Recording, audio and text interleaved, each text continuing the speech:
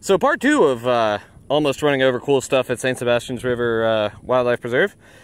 There is a mating pair of walking sticks that was crossing the road here. And I stopped to make sure that, uh, that I could get them across. So I'm just going to take them and put them uh, over here. Hopefully not disturb the mating process any more than I had to. There we go. And yeah, check that out. A couple of walking sticks. Pretty cool, man. Pretty cool.